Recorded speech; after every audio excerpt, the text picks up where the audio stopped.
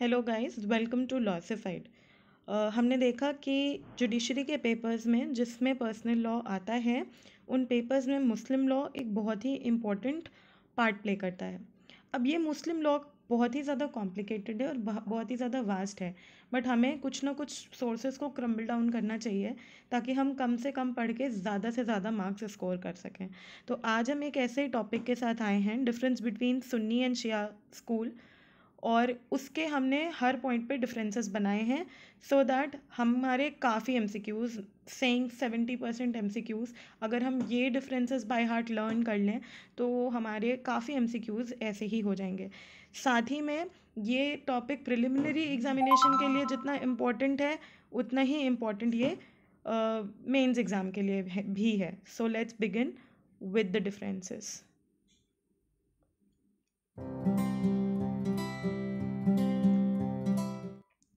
तो सबसे पहले हम देखेंगे मैरिज पे इन दोनों के बीच का डिफरेंस तो सबसे पहले इस तरीके से अपने दिमाग में बैठाते हैं कि पहले हम सुन्नी लॉ पढ़ेंगे, फिर शिया स्कूल पढ़ेंगे, ताकि हमें चीज़ें थोड़ी आसानी से याद हो जाएँ. तो सुन्नी लॉ में मूता मैरिज अनलॉफुल है, बहुत ही इंपॉर्टेंट पार्ट और शिया स्कूल में मूता मैरिज लॉफुल है. इसमें भी कौन सा स्कूल है? ये हमें देखना चाहिए. इतना शारिया स्कूल है. खैर उसके अलावा इसमें लॉन्ग लिस्ट ऑफ़ गार्जियंस है, जो कि मैरिज के लिए दे सकती है। इसमें सिर्फ़ फादर और ग्रैंड फादर है, जो कि guardian for the purpose of marriage है। Second presence of two male witnesses at the time of marriage is necessary but not at the time of dissolution तो सुन्नी लॉ में मैरिज करते वक्त witnesses चाहिए, लेकिन तलाक करते वक्त नहीं चाहिए। लेकिन शिया लॉ में विटनेसेस नहीं चाहिए at the time of marriage लेकिन तलाक के लिए चाहिए। तो ये भी बहुत इंपॉर्टेंट डिफरेंस है। Child will be presumed next child will be presumed legitimate only if bond within ten months तो इसमें टेन मंथ्स का टाइम पीरियड है from the dissolution of marriage शादी के डिजोल्यूशन के बाद अगर दस महीनों में there is a child then it will be be to be be where Whereas in the Shia school, a child born within two years of the termination of marriage is presumed to be legitimate. So there's this difference of time limit 10 months and 2 years. Moving ahead, uh, we have difference on point of dower. तो dower में Sunni school में minimum limit है maximum की limit नहीं है इसमें minimum की कोई लिमिट नहीं है मैक्सिमम की लिमिट है और क्या लिमिट्स है? इसमें दस दिरहम मिनिमम की लिमिट है और इसमें फाइव हंड्रेड दिरहम्स मैक्सिमम की लिमिट है। तो this is very important next divorce के पॉइंट में दोनों स्कूल्स में क्या डिफरेंस है? तो सबसे पहला डिफरेंस है कि ओरली या रिटर्न डॉक्यूमेंट में हो सकता है सुन्नी स्कूल में।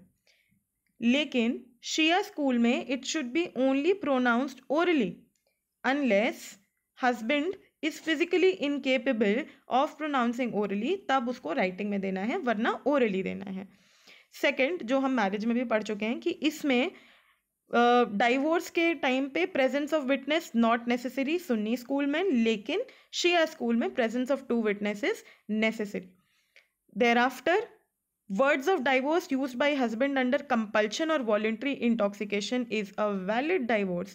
तो इसमें अगर threat, कंपल्शन या इंटॉक्सिकेशन में अगर डाइवोर्स दिया है तो भी वो वैलिड होगा। लेकिन ऐसे सरकमस्टांसेस में दिया गया divorce is not valid in Shia school आगे बढ़ते हैं। वी सी मैटर्निटी में क्या डिफरेंस है? तो सुन्नी स्कूल में उस वुमन के पास फिक्स्ड होती है maternity who has given birth to the child by an adulterous act और by a valid marriage so natural mother जो होती है बायोलॉजिकल मदर उसके पास मेटर्निटी का अधिकार होता है। लेकिन शिया स्कूल में ओनली वैलिड मैरिज से if a mother has given birth to a child then only she has her maternity fixed Sunni school में राइट ऑफ़ इनहेरेंट इनहेरिटेंस है फ्रॉम द मदर लेकिन शिया स्कूल में does not permit mutual rights of inheritance between the mother and her illegitimate child so अगर इसमें illegitimate child है तो वो inherit कर सकता है। लेकिन इसमें इलेजिटिमेट चाइल्ड मदर का कुछ भी इनहेरिट नहीं कर सकता है। Moving ahead we have guardianship पे डिफरेंस ये बहुत ही इंपॉर्टेंट है। बहुत सारे एम इस पॉइंट ऑफ़ टाइम इस पॉइंट ऑफ़ लाइन पे आते हैं। तो इसमें बॉय के लिए सेवन और गर्ल के लिए प्यूबर्टी और इसमें मदर की गार्जियनशिप की बात हो रही है यहाँ पे। शिया स्कूल में बॉय के लिए टू और गर्ल के लिए seven mother is entitled to custody of a boy until he attains the age of two and girl until attains the age of seven years I am sorry for the repetition तो इस तरीके से we have this point clear between Shia and Sunni law moving ahead we have difference on point of maintenance तो Sunni school में children liable होते हैं to maintain father even if father is earning इसमें not obligatory to maintain father if father is earning तो ये Sunni school और शिया school में difference है. शिया स्कूल में ऑब्लिगेटरी है only if father only if father is not earning और Sunni school में irrespective of the father earning और not it is the liability of children moving ahead we have gift के point पे difference तो देखो कि अनडिवाइडेड शेयर का gift है अगर सुन्नी स्कूल में तो वो इरेगुलर होगा अनलेस स्पेशल कंडीशन सेटिस्फाइड लेकिन इसमें अनडिवाइडेड शेयर का गिफ्ट जो प्रॉपर्टी केपेबल ऑफ़ पार्टीशन है, उसका gift is valid moving ahead we have difference on waqf.